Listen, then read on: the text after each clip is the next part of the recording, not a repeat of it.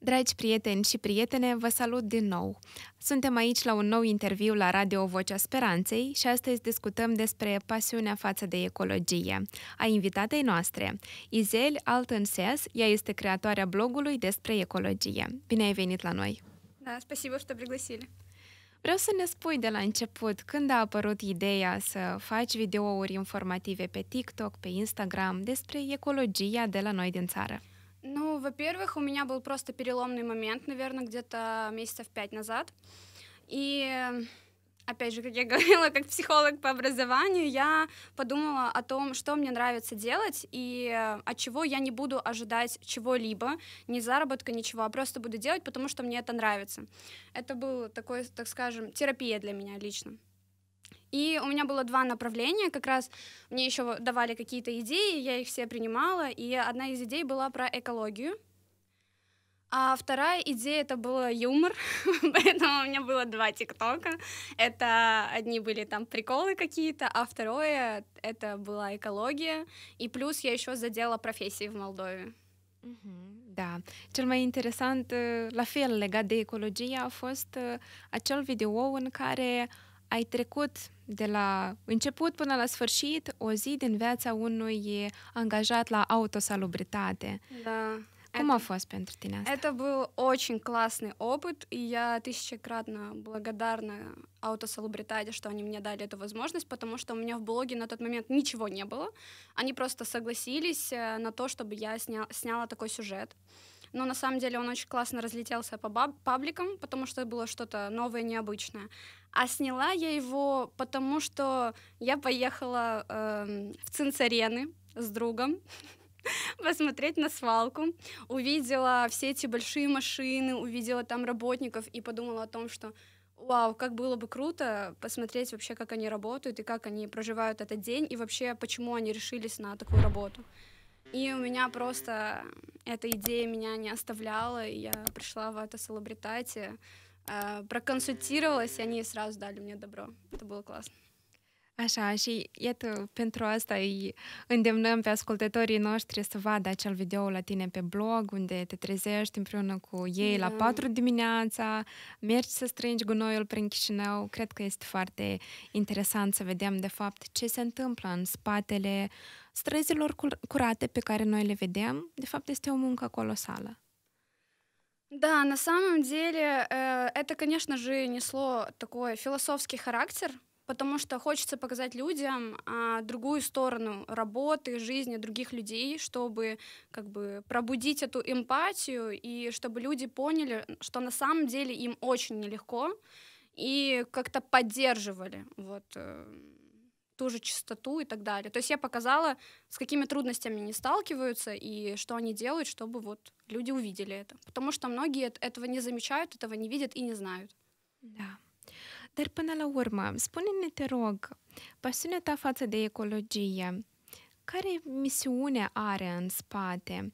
Tu vrei să schimbi ceva la noi în țară, tu asta o faci pentru copiii tăi, sau care este мотивация ta? Как я и говорила, это больше несло такой терапевтический характер для меня, чтобы я делала то, что мне нравится. Конечно же, у меня нет э, э, такого фанатизма и ожидания от людей, что вот я сейчас сняла эти ролики, показала, что происходит у нас в Молдове, и вот все сейчас пробудятся и будут там сортировать мусор или еще что-то. Но я понимаю, что если хоть капельку, хоть один процент человек это воспринял, или хотя бы один из ста это воспринял, то, что я делаю, и то, что я показываю, это уже для меня плюс. То есть я не ставлю себе каких-то там э, нереальных ожиданий от этого. Я просто делаю то, что мне нравится, показываю это людям, и я вижу, в принципе, фидбэк от этого. И это приятно. Și până la urmă, după părerea ta, care este situația ecologică în Republica Moldova? И вроде хорошо, и вроде очень плохо. Хорошо, потому что компании очень стараются, а, очень стараются на самом деле. Просто они это не, не показывают, не рекламируют да, то, что они делают. Очень много есть программ по очистке и так далее. То есть всего-всего. А, в Кишиневе достаточно, достаточно хорошее положение потому что у нас здесь люди уже по чуть-чуть просыпаются, начинают сортировать мусор, и все хорошо. Но в окраинах это плохо, Вот, потому что там нет э, сортировочных баков, и у меня есть много друзей, знакомых, которые живут в селах, они тоже осознанные и тоже хотят что-то делать, но у них нет возможности. И есть многие люди, на мое удивление, которые сортируют и привозят в Кишинев. Вау. Да, то есть у них есть огромное желание, но у нас почему-то пока это не так масштабировано. Și mai este ceva care este poate mai bun la capitolul ecologie la noi în țară? Как я и говорила, хорошо то, что компании ведут какие-то образовательные проекты, учат детей в школах, э, учат детей в садах. Вот, допустим, я помогаю вести один из проектов, который называется «Азалеи». А, это образовательный проект для деток, эм, где мы рассказываем о экологии и сортировке. То есть э, это круто, это вообще классно. То есть меняем э, мышление деток, э, меняем поколение и учим, что такое норма, что такое сортировка, потому что дети более эмпатичны, им э, жалко видеть картинки про зверей, которые умирают из-за пластика в морях и все такое. И через них легче вот э, легче это им, им легче пропускать эту информацию, чем взрослым. Э, Потом далее идет э, то, что у нас больше мусора сортируется на данный момент, то, что перерабатывается, то есть движение есть и очень хорошее. Это классно. Așa. Apropo despre insuflarea pasiunii față de ecologie, sortarea deșeurilor, ne-am înțeles că o să discutăm într-un alt interviu, iar până atunci vreau să ne spui totuși ce ține de noi ca cetățeni, ce putem noi face pentru ca starea ecologiei să devină mai bună la noi în țară. Смотрите, самое легкое и простое, что можно делать, это сортировать мусор. Остальное будут делать э, компании, будут перерабатывать и все такое. То есть от нас зависит, чтобы мы просто старались сортировать.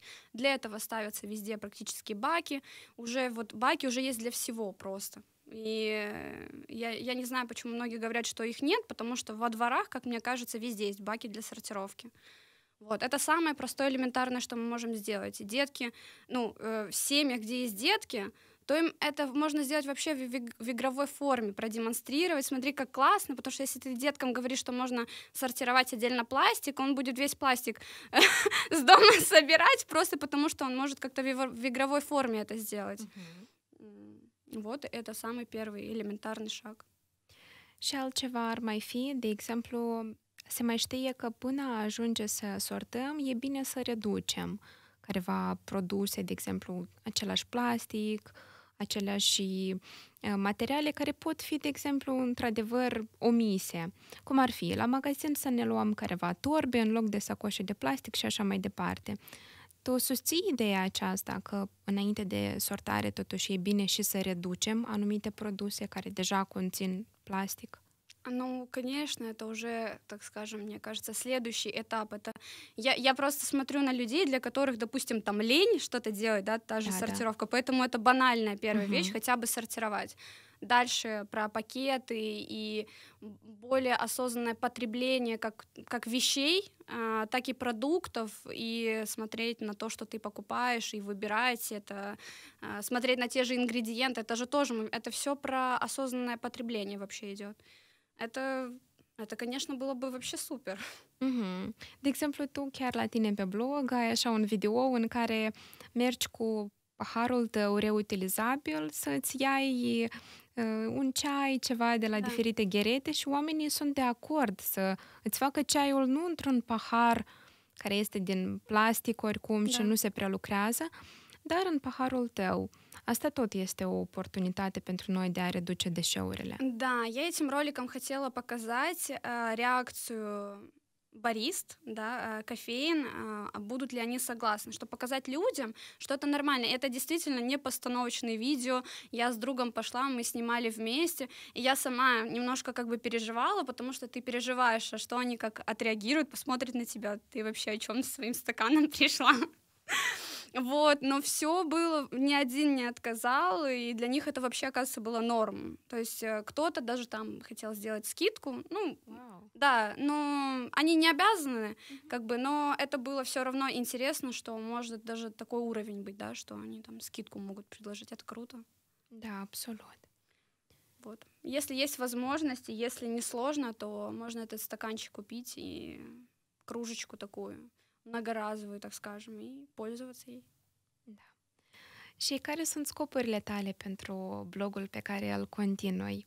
Ce ai vrea să obții în viitorul apropiat prin munca pe care o depui? Pentru că în montarea, timpul acordat pentru aceste tematici, um, circularea prin oraș pentru a găsi informații potrivite, trebuie să aibă totuși un scop careva. Tu ce îți dorești să obții?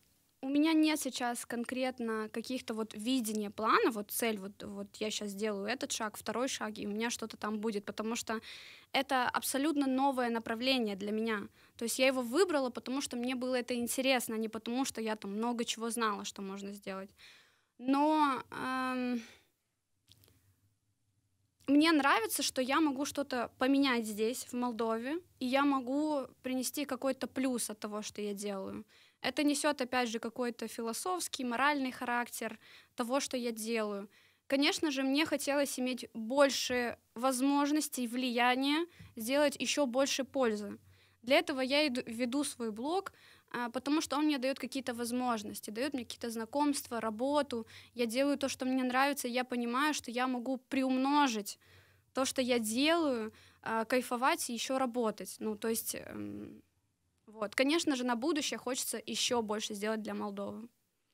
Apropo, dar se preconizează încă vreun subotnic, așa cum uh, tu scrii acolo, pentru că vă adunați adesea cu oamenii doritori de a face un pic de ordine prin oraș și, într-adevăr, uh, faceți activități de salubrizare. А, субботник. Было очень тяжело его сделать вообще-то. А, вот. Эм, сделала я его... Знаешь, я хотела его сделать так, чтобы это было для молодежи. Я взяла колоночку, я включила классную музыку, современную, так скажем, так, чтобы все кайфовали. И это была как мини-тусовка, потому что там была еда, там было кофе, э, мы веселились, мы пели. Эм, а, вот. И да, наверное, я бы хотела сделать, но, честно, морально было очень трудно потому что это все, можно сказать, легло на мои плечи. Спасибо друзьям, которые мне помогали, конечно, но я сходила с ума, чтобы сделать это все хорошо. И в следующий раз, если я сделаю, то, конечно, я, наверное, еще кого-то возьму, чтобы мне было легче подготовиться к этому. Но это классная идея, потому что пришли реально люди. Я не ожидала. И пришли молодые ребята и взрослые, там даже прям ну, женщине там 70 лет, да, тоже приходит и убирает. Вот. Надо? Da, foarte frumos, într-adevăr. Cei care ne ascultă neapărat trebuie să te urmărească și să vadă ce evenimente tu organizezi da, pentru da. protecția mediului, ca să se implice și ei, pentru că noi aici la Radio Vocea Speranței mai avem și o emisiune care se numește Stil Eco, unde vorbim despre ecologie și oamenilor le place. Uh, foarte bine că există blogeri ca tine care pun accentul pe așa subiecte. De altfel, se mai schimbă și părerea oamenilor că toți blogerii, na, ă, au valori strani și promovează mm. anumite lucruri care nu sunt atât de importante, dar tu, de fapt, ai luat un subiect care este și sensibil, pe de altă parte, și îi ajuți pe oameni să înțeleagă lucrurile mult mai profund și îți mulțumesc pentru asta. Da, eu v-am spusibă. Dragi prieteni și prietene, astăzi am discutat cu Izel Altinses, ea este creatoarea blogului despre ecologie, unde puteți găsi numeroase videouri informative despre cum puteți sorta deșeurile, despre cum vă puteți implica în crearea unui anturaj sănătos pentru noi și copiii noștri. Și acestea fiind spuse, vă dorim o zi cât se poate de frumoasă în continuare.